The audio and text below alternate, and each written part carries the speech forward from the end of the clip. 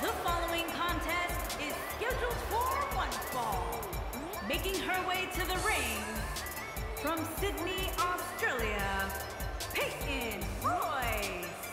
As Peyton Royce makes her way to the ring, I should note that before heading to the WWE Performance Center, Peyton actually received training from Lance Storm. So we can blame Lance Storm. Is that what you're saying? Guys, a win here would go a long way in proving that she is as good as she claims to be. And on the flip side, Cole, a loss could be very damaging to her long-term goals.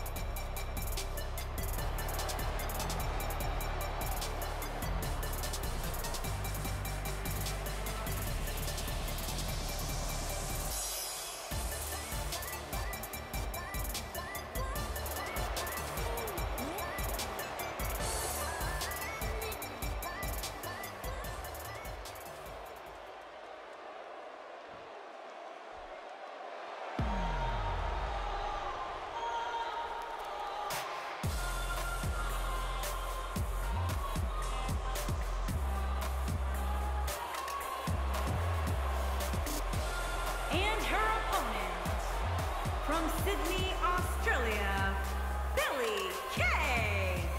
Billie Kay with that signature look of arrogance on her face as she makes her way to the ring. I wonder what it must be like to be so in love with yourself. Yeah, and for me, tonight will go a long way in determining exactly which woman is the most dominant in WWE. Same here, Michael. I'd say it's almost impossible to overstate the importance of this match, especially as it relates to where in the pecking order the winner will end up.